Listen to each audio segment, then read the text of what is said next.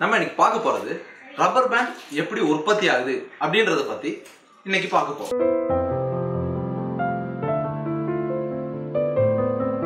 முதல்ல rubber band வந்து rubber மரத்து பால்ல இருந்து எடுக்கிறாங்க. ரப்பர் மரத்துல இருந்து எடுக்கிற பாலை இந்த மாதிரி ஒரு தொட்டியில கொண்டு போய் ஊற வைக்கிறாங்க. ஊற வச்சு அது கூட அமோனியம் ஆசிட்ஸ் சேர்க்குறாங்க.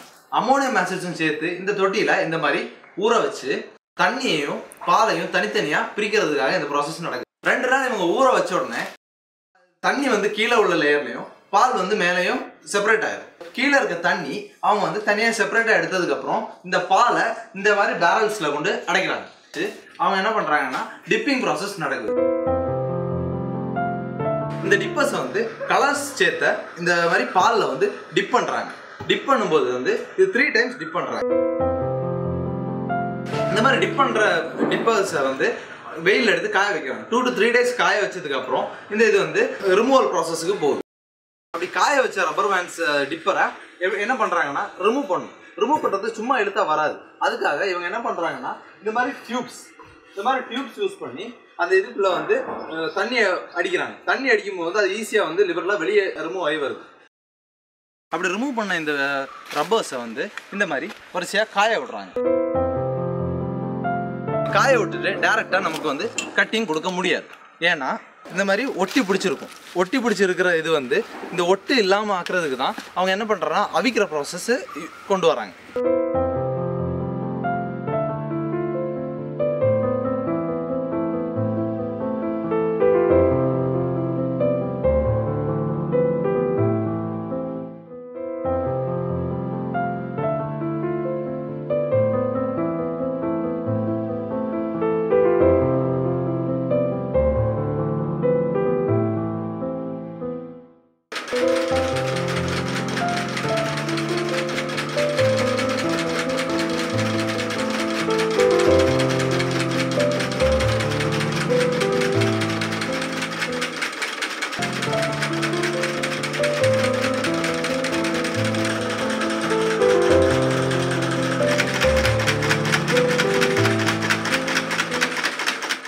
பண்ண ரப்பர் பேண்ட்ஸை அவங்க வந்து டேரக்ட் சன்லைட்டில் காய போடுறாங்க.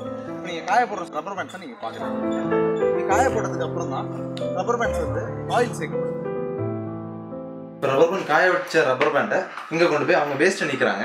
வேஸ்ட்டை நீக்கிட்டு வந்து கீழே நீங்கள் பார்க்குறது ஃபுல்லாக வந்து வேஸ்ட் வேஸ்ட் நீக்கினதுக்கப்புறம் இந்த ஆயிலை இந்த வந்து ரப்பர் பேண்ட் கூட மிக்ஸ் பண்ணுறாங்க மிக்ஸ் பண்ணி இது எதுக்கு மிக்ஸ் பண்ணுறாங்கன்னா ரப்பர் பேண்டுக்கு கொஞ்சம் ஷைனிங் கொடுக்குறதுக்காக மிக்ஸ் பண்ணுறாங்க மிக்ஸ் பண்ண ரப்பர் பேண்டை அவங்க வந்து கவரில் பேக் பண்ணுவாங்க. இப்போ நீங்கள் பேக் பண்ணுறதா பார்த்துருக்கீங்க.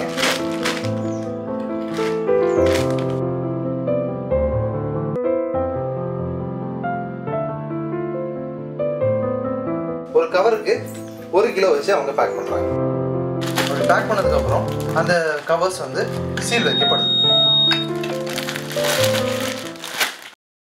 இந்த மாதிரி பேக் பண்ணுற ரப்பர் பேண்ட்ஸ் தான். நீங்கள் இப்போ கடையில் வந்து அவங்க ஹோல்சேலாக கொடுக்குறாங்க. இதுதான் இந்த ரப்பர் பேண்டோட டோட்டல் ப்ராசஸ்